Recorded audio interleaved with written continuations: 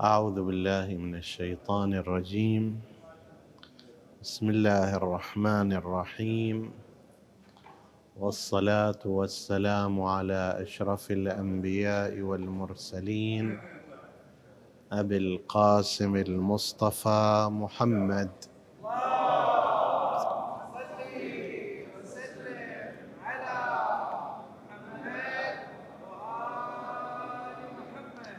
وعلى أهل بيته الطيبين الطاهرين المعصومين المكرمين. السلام عليكم أيها الإخوة المؤمنون أيتها الأخوات المؤمنات ورحمة الله وبركاته. حديثنا في هذا اليوم أيضا هو في سلسلة الأقوال والأمثال الخاطئة التي قد تؤثر في حياة الناس مع عدم الالتفات إلى خطأ منشئها. من الأقوال الخاطئة التي قد توجد عند بعض الناس أنهم يقولون أنا إنسان صريح ما أجامل ولا أنافق اللي بقلبي على طرف لساني. طبعا هو عندما يقول هذا الكلام يقوله في مقام الافتخار. ويرى أن هذه الصفة الصراحة الشجاعة القول في الوجه مو ورانا ما أقول كلام وراه قدامه. هذه يعتبرها صراحة شجاعة قوة ميزة. سوف يتبين أن الأمر ليس كذلك وأن هذه ليست من الصفات المحمودة ولا أن طريقة الحياة هذه طريقة سليمة. بحسب ما نستفيده من القرآن الكريم ومن أحاديث رسول الله ومن أحاديث المعصومين عليهم السلام جميعا سوف يتبين أن صاحب هذه الممارسة وصاحب هذه الفكرة في اشتباه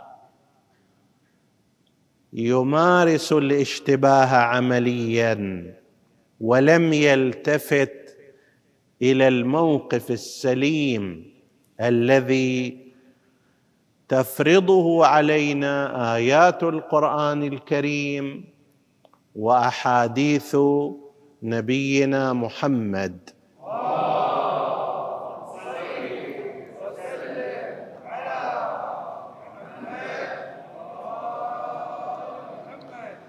اولا لا بد أن نشير إلى أن من يقول هذا الكلام ليس صادقا على الإطلاق.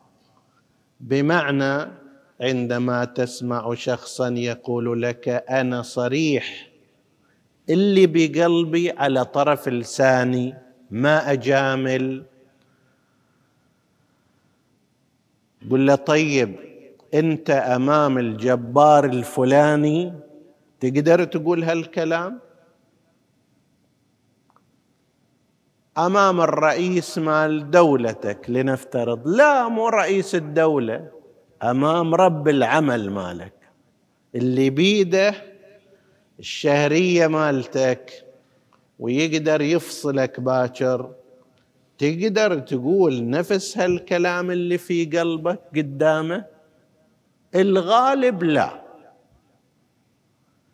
قدرت تقول اللي في قلبك أمام رب العمل تقدر تقول هذا اللي في قلبك تماما أمام رأس السلطة السياسية في بلدك؟ غالبا لا يقول بالصراحة. طيب إذا كان هذه الصفة صفة ممتازة وطيبة. لماذا فقط قدام زوجتك تقولها؟ لماذا فقط قدام أخيك؟ لماذا قدام اللي أصغر منك وأقل من عندك؟ لماذا قدام جارك؟ إذا شيء زين لازم انت تقول قدام أي واحد ولا تبالي ولا تخاف لأنك إنسان صريح وما تجامل ولا تنافق حسب تعبير بعضهم. أنت شجاع. فإذا كنت شجاعا ما لازم تكون فقط شجاع على الضعفاء. ما لازم تكون قادر على من هو في مستواك فقط. ومن هو دون مستواك في القوة؟ الشجاع لازم يكون شجاع على الجميع. اللي ما يجامل لازم ما يجامل الجميع. بس إيش معنى وقت اللي صار ذاك الصوب القوي؟ لا صار اللي في قلبك يبقى في قلبك. أما إذا كان الأمر مع أخيك الضعيف لا. صرت اللي في قلبك على طرف لسانك مع زوجتك مع ابنك مع قريبك مع جارك لأن هذول ضعفاء. فاولا من يقول هذا الكلام ينبغي أن يفهم أنه ليس كلامه دقيقا بالكامل. يقول أنا ما أجامل. اللي بقلبي على طرف لساني لازم يخلي ليه ذيل إذا كان اضعف مني. أما إذا أقوى مني وأخشى من عقوبته لا أقول. وعادة أكثر من يقول هذا الكلام هو يتحفظ يتقي يسكت أمام القوي. هذه النقطة الأولى.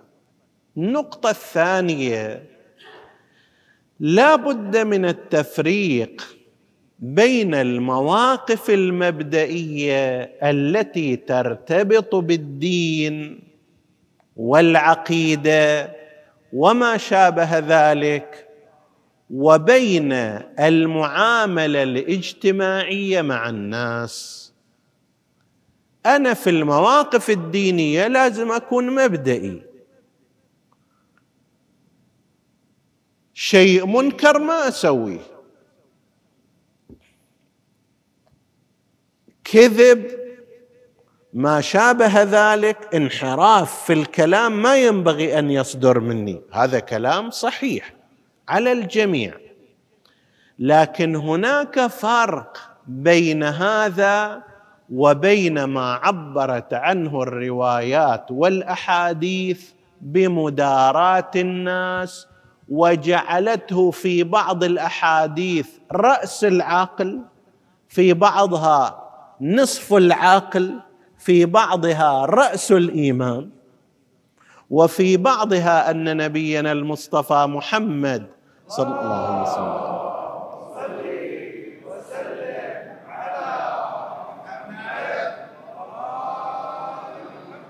يقول أنه ما أمر بعد إقامة الفرائض إلا بمداراة الناس. يعني كأنما الدين انقسم قسمين. قسم إقامة الفرائض صلاة صوم حج زكاة. والقسم الثاني ماذا؟ مداراة الناس. مداراة الناس تخالف هذا الكلام الذي يقوله الإنسان في كثير من الأحيان تخالف القول أنا ما أجامل وأنا ما أبالي بأحد واللي على في قلبي على طرف لساني. لا كثير من الأحيان مداراة الناس لا تقتضي هذا وإنما تقتضي وقولوا للناس حسنا. فأكو إذا فرق بين الموقف المبدئي للإنسان وبين طريقة التعبير عنه. حتى الإنسان لو كان عنده موقف مبدئي من انحراف فلان هذا أيضا خاضع لمجموعة من المحددات. في بعض الأماكن خاضع للتقيه في بعض الأحيان خاضع لحساب الضرر والمنفعة. النتائج اللي راح تحصل إذا كانت أقل من الأضرار. الأثمان اللي راح تدفع أقل من المكاسب. الإنسان العاقل يترك هذا. أنا فلان من الناس تكلمت معه كما يقال بكل اللي في قلبي عليه. أنا عاقل لو مو عاقل أي عاقل يحسب حساب الربح والخسارة. يفكر أنه هذا الإنسان أنا بعد ما تكلمت معه بهذه الطريقة بهذه الصراحة. هل تأثر تاثرا ايجابيا؟ يعني تغير عما كان عليه من السوء صار أحسن لو لا؟ أنا علاقتي معه صارت أفضل لو انقطعت بالكامل.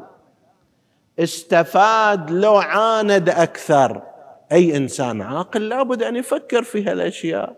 كم الثمن اللي أنا أدفعه وكم السلعة اللي أنا آخذها؟ ما هي النتيجة؟ أما واحد يجي يمشي هالشكل مدرعم حسب التعبير. أنا ما أجامل أحد. اللي في قلبي على طرف لساني. ما أعرف ألف وأدور. هذا حمق. في بعض الحالات يكون حمقا. العقل والعاقل يفكر أن أنا كلامي هل هو كلام سديد؟ لو مو سديد. في وقته لو مو في وقته. بهالأسلوب أحسن لو بذاك الأسلوب أحسن. وقل لعبادي يقولوا التي هي شنو؟ التي هي أحسن مو الحسنى مو الشيء الحسن. مو يقولوا ما هو حسن لأنه تمييز السيء من الحسن. طيب ولكن في الحسن أيضا أكو درجات. درجة حسن درجة أكثر حسنا درجة الأحسن. بعد ماكو وراه شيء أفضل منه. وقل لعبادي القران يقول وقل لعبادي يقول ماذا؟ يقول ذلك الشيء الأحسن أنا أطلب منهم. يقول التي هي أحسن. ليش؟ لماذا؟ امرهم يا رسول الله. مو فقط يقولون الحسن يقولون التي هي أحسن أفضل. لماذا؟ إن الشيطان ينزغ بينهم. هذه العلماء يقولون هذه الجملة جملة تعليلية. لماذا؟ يقول التي هي أحسن لأنهم لو لم يفعلوا ذلك فإن الشيطان يصنع بينهم معركة. زين أنت تريد تصير مطية للشيطان؟ بقولك هذا الصريح اللي تقوله تصير معركة تصير فتنة عائلتين تتخاربوا ليش يابا؟ لأنه فلان قال هالكلام هذا وصارحتهم أنا باللي في داخل قلبي. ما خليت. شنو خايس ولا خنين إلا طلعته؟ زين. غلطان في هذا. وش أنتجت؟ أنتجت عداوة. أنتجت بغضاء. خليت الشيطان يدخل بين العائلتين. ليش؟ لأنه أنت في زعمك كنت صريحا. اللي بقلبك على لسانك. آخر هذا مو مطلوب منك. هذه الأحاديث تعبر عنها الإنسان بأنه أحمق. مو هذا التعبير من عندها تعبير من الأحاديث عن مولانا أمير المؤمنين عليه السلام. يقول لسان العاقل وراء قلبه. ولسان وقلب الأحمق ولسان الأحمق أمام قلبه. يعني شنو؟ يعني هذا العاقل مخلي اللسان ورا ومخلي قدام عقل يقول زين أقول هالحكاية مو زين مفيد غير مفيد نافع غير نافع. فال فالعقل والقلب بمثابة صمام أمان. ياخذ بريك قدام اللسان. أما إذا انعكست المسألة صار اللسان اللسان قدام والقلب ورا. خلاص اللسان ينهد آخر شيء بعدين يمكن يتندم هذا الإنسان. شي في ذاك الوقت خربت كل الشغلة. هذا التوجه وهذا التفكير وهذه الرؤية رؤية خاطئة. إحنا عندنا من العقائد أكو شيء بعد أكثر من العقائد والفرائض؟ يقول الشرع لنا أنت فيها محكوم بالتقية لا سيما على وفق منهج أهل البيت عليهم السلام. تقية معناها شنو؟ تقية هي الحكمة. أنا أقدر أقول مالي شغل أصلي بالشكل اللي يعجبني وأطلع عقائدي بالنحو الذي أريد اللي يريد يريد واللي ما يريد بكيفه. طيب. طبعا هذا فيه تجويز في بعض الحالات إذا توقف إظهار الإسلام على هذا الأمر وأراد الإنسان أن يركب المركب الاستشهادي في هذا الأمر قولوا له ما يخالف بس هذا لم يلزم به الناس. وإنما قال أئمتنا عليهم السلام ديني طريقتي أسلوبي. قانون العام للناس ما هو؟ التقية ديني ودين آبائي. ذاك مو ممنوع عليك تروح في وسط معادي إلى عقائدك وتعلن عقيدتك. كسروني. ما يخالف خلي يكسرون. ما حد يمنعك في ذلك. وإن كان بعض العلماء فيما يرتبط بقضية الفرائض أنه لو كان موضوع تقيه وصلى على خلاف التقيه بعضهم يستشكل فيها باعتبار يقول هذه الصلاة مو مأمور بها وهذا بحث فقهي الآن ما نتعرض إليه. لكن في الجملة لو أن إنسانا أراد أن يعلن عن عقائده في وسط معادي حتى لو كسروه حتى لو أذوه حتى لو قتلوه طيب ذاك شأنه. لكن كمنهج عام وضع للمؤمنين إلا أن تتقوا منهم تقات. التقية ديني ودين آبائي. هذا المنهج العام. وهو الموافق للحكمة. وهو الذي عليه حتى غير أتباع أهل البيت. غير أتباع أهل البيت ما عندهم تنظير في موضوع التقية ولكن عندهم تطبيق كثير. يقول لك أيام المأمون العباسي اختفى الاتجاه اتجاه الحنابلة بالكامل تقريبا في قضية خلق القرآن وقدم القرآن لأن القرآن مخلوق أو قديم. الخليفة العباسي في ذاك الوقت المأمون كان مخالفا للحنابلة فالحنابلة سكتوا. يا أنتم ما عندكم التقية بحسب التنظير لكن في التطبيق صار موجود. انعكست الآية فيما بعد. اجى المتوكل العباسي. متوكل العباسي أخذ جانب الحنابلة وأخذ يعاقب أعداءهم. فمخالفوهم اللي انتعشوا في أيام المأمون. العباسي سكتوا ورخوا راسهم. بل استدعي بعضهم لكي يقر على خلاف عقيدته فأقر وإلا كان السيف ينتظره زين أنتم اللي ما تشتغلوا بالتقية. إيش معنى هنا أنا اشتغلت فيها؟ هي حكم العقل. التقية حكم العقل الذي يقتضيه. في مثل هذه الموارد أنا علشان أقول هالحكاية أو ذيك الحكاية أروح أضحي بنفسي الشرع لا يأمرني بذلك. قلت في بعض الموارد إذا توقف إظهار الإسلام أو اختار الإنسان نفسه زين صار هذا حتى في زمان رسول الله صلى الله عليه وآله مع عمار اختار هذا الطريق. غيره لما أخذوه إلى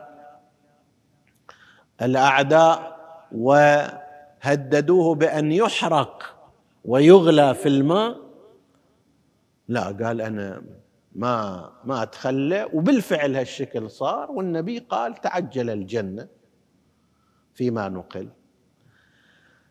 بالنسبة إلى أصل الدين فيها المجال لكن بالنسبة إلى العلاقات الاجتماعية وما يرتبط بها هذه سالفة أنا صريح واللي على في قلبي على طرف لساني لا تبرير لها واضح. ليش؟ اولا قد تقترن هذه بإيذاء مؤمنين. قدامي واحد صار حكي في موضوعه أنا أيضا أقول أنا ترى اللي في قلبي على طرف لساني استلم. زين هذا قد ينطبق عليه عنوان إيذاء هالمسلم هذا إيذاء هالمؤمن هذا. أنا كنت صريح ولكن شي نجيني من الحساب على أنك آذيت مؤمنا من المؤمنين. طيب. قد ينطبق عليه عنوان الغيبة إذا كان هذا الشخص ما موجود وما كان موضع استشارة. صار كلام عن فلان قال أنا ما ما أنافق ولا أجامل وهذا سوى وهذا فعل وهذا قام وهذا راح وهذا إلى آخره. طيب هذا صارت غيبة. إلا في موارد تجوز فيها. مثل مورد الاستشارة مثلا لو طلب من الإنسان. لا غير هذه الموارد. في المقابل نحن نجد أن هناك محددات لكلام الإنسان. ما يقدر يقول الإنسان أنا صريح وما أجامل وأنا شجاع واللي في قلبي أطلعه. أنت محكوم في كلامك بمحددات أخلاقية شرعية دينية. ما تقدر تتكلم بكيفك. هذا لسانك يعاقب عليه آفات.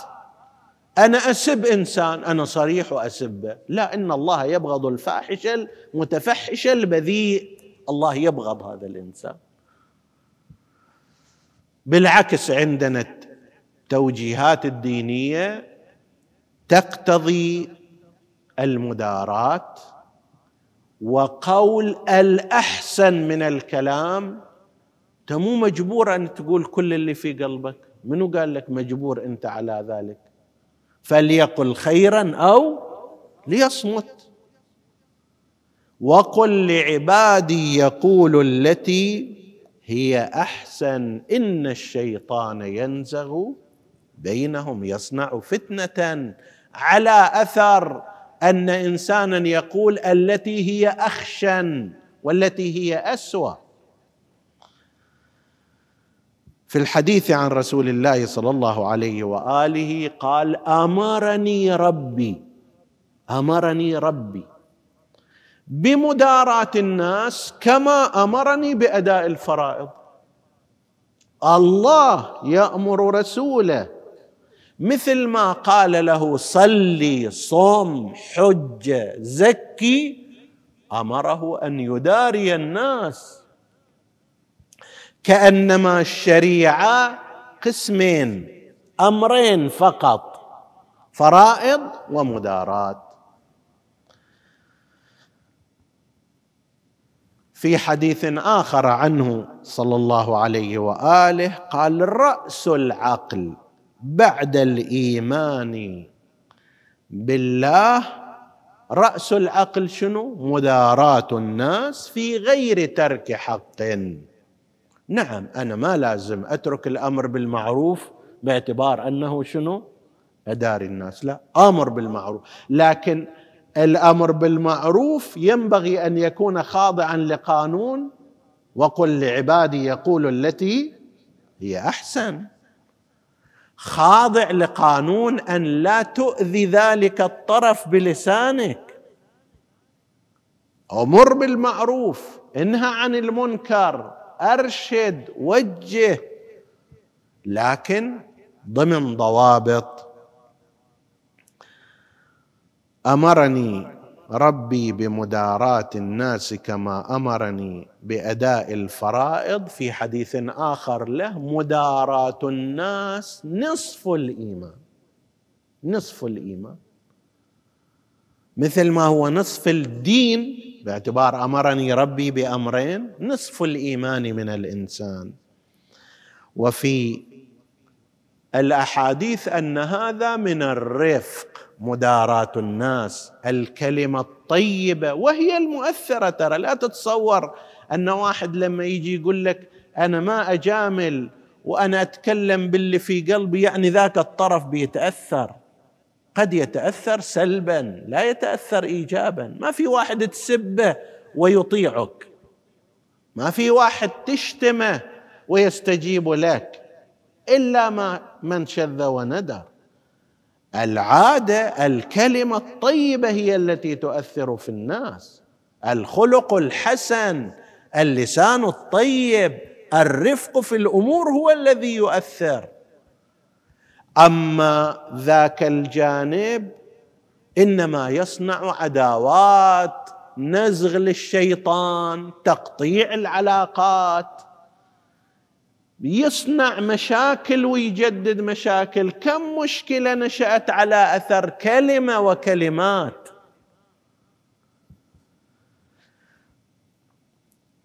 الحديث عن رسول الله صلى الله عليه وآله أن الرفق يمن والخرق شؤم. الكلمة أحيانا تكون كلمة رفيقة وقد تكون كلمة خرقه في الرفق اليمن وفي الخرق الشؤم. وما زوي الخير في حديث عن الإمام الصادق عليه السلام ما زوي الخير عن أهل ما زوي الرفق عن أهل بيت إلا زوي عنهم الخير. وبعض البيوت متعودين كلمات طيبة لطيفة مناسبة. الصوت هادئ طيب. تفاهم هو الأكثر. وأكو لا سمح الله ولا قدر أخ أهل بيت آخرين. لا هذول تجدهم عادة كلماتهم عنيفة شديدة سيئة خرقاء. ويتعلم الصغير من الكبير. وهي مسؤولية الآباء والأمهات. ترى الأطفال إذا شافوا النبره عالية والكلمات سيئة هم يلقفوها. ما تقدر تقول له بعدين لا تقول هالكلام مو زين. هو يخلي في باله زين أنت ليش قلت هذا الكلام لعمي وخالي ولما اتصلت بفلان والى امي وال يقول لأمه ولو في داخل قلبه ليش أنت قلتي هذا الحكي إذا ما كان زين؟ فيتعلم هذا من ذاك. ما زوي الرفق عن أهل بيت إلا زوي عنهم الخير. فالكلام أيها الأحباب أيتها المؤمنات عن أنه أنا اللي في قلبي على طرف لساني وأنا ما أجامل أحد وأنا ما أحب النفاق وأنا صريح هذا كلام غير صحيح. ولا ينبغي أن يسير الإنسان على وفقه. نسأل الله سبحانه وتعالى أن يوفقنا وإياكم لمكارم الأخلاق وأن يجنبنا مساوئها. إنه على كل شيء قدير. وصلى الله على محمد وآله الطاهرين.